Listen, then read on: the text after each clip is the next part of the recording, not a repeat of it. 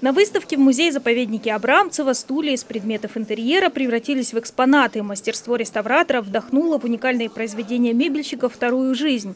И это подтолкнуло работников музея к созданию выставки. Стулья рассказывают историю усадьбы Абрамцева, в которой выделяют Оксаковский и Мамонтовский периоды. И период 20 века, когда рядом появился поселок художников, а в самой усадьбе работал эвакуационный госпиталь. Так на одном из стульев, кресел, э, так называемое кресло с бараньими головками, которые у нас представлены в экспозиции, например, на оборотной стороне э, сидения есть подпись реставратора, который в 1977 году проводил реставрационные работы и счел нужным оставить свой автограф на этом стуле. Самым загадочным экспонатом стало складное кресло второй половины XIX века. По словам работников музея, судя по инвентарному номеру, оно относится к основной мамонтовской коллекции мебели. Но его предназначение до сих пор не ясно. Я, на самом деле, поспрашивала музейщиков из разных музеев, что это могло бы быть. У всех ответы разные, но очевидно, мне не кажется, что это какая-то ошибка. Но видите, для того, чтобы молиться на коленях, мне кажется, все-таки высоковато. А потом мягкое с этой, с этой стороны. Оно не крутится. Зачем-то становится в такую позицию. То есть, а, по стилистике напоминает западноевропейскую мебель. А, у вас минута за такие.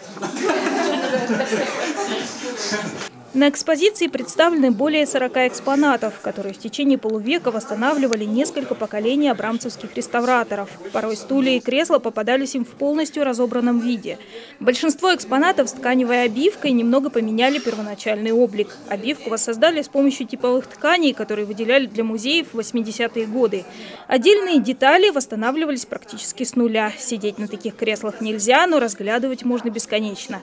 На открытии выставки председатель окружного совета Рита Тихомирова отметила, что своим появлением экспозиция обязана директору музея-заповедника Елене Ворониной. А, ей огромное спасибо, потому что она, когда сюда ну, пришла вот э, в это славное Абрамцево, она не просто, э, как бы, не просто сохранила традиции. Все, которые были десятилетиями, а о тех, которых в момент говорила сейчас Елена Николаевна, десятилетия же были, но она еще все это приумножила. И такую моторность всему придала.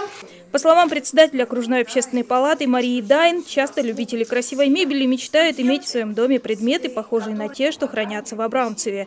Но встает проблема нехватки мастеров-краснодеревщиков, которые могли бы изготовить качественные копии.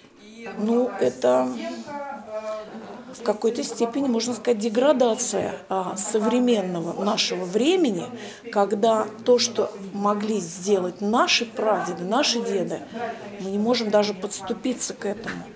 И мы говорили э, с директором Абрамского училища, э, который у нас, э, ну, это центр культуры, второй после музея Абрамцева, и говорили о том, что очень нужно открывать отделение по обучению юношей и девушек в том числе.